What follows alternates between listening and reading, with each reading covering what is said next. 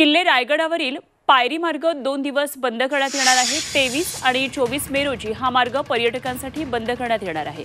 येत्या सहा जूनला रायगडावर छत्रपती शिवाजी महाराजांचा तीनशे एक्कावन्नवा शिवराज्याभिषेक सोहळा पार पडणार आहे आणि या सोहळ्याला देशविदेशातून शिवभक्त किल्ले रायगडावर दाखल होणार आहेत. मात्र गडावरील पायरी मार्गावर काही ठिकाणी दरड कोसळण्याची शक्यता आहे. आणि त्यामुळे कोणतीही दुर्घटना होऊ नये म्हणून गडावरील धोकादायक दगडी हटवण्याचं काम आता हाती घेतलं जाणार आहे. आणि त्यासाठी पायरी मार्ग हा दोन दिवस पर्यटकांसाठी बंद ठेवण्यात येणार आहे.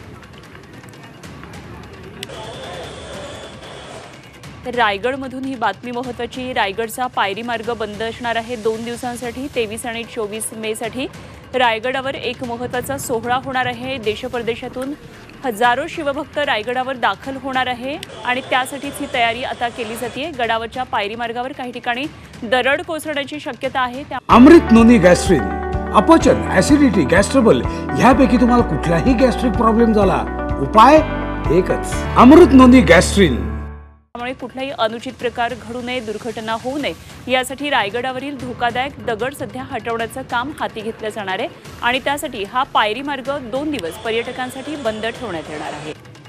त्यामुळे उन्हाच्या सुट्ट्यांमध्ये रायगडकडे जाण्याचा जर तुमचा प्लॅन असेल तर त्याआधी बातमी जरूर पहा. रायगडचा पायरी मार्ग दोन दिवस म्हणजे तेवीस आणि चोवीस तारखेला बंद असणार आहे. या ठिकाणी डागडुजीचं काम आता सुरू झालेलं आहे. आणि म्हणूनच पायरी मार्ग बंद ठेवण्यात येणारे येत्या सहा जूनला रायगडावर छत्रपती शिवाजी महाराजांचा तीनशे एक्कावन्नवा शिवराज्याभिषेक सोहळा पार पडणार आहे.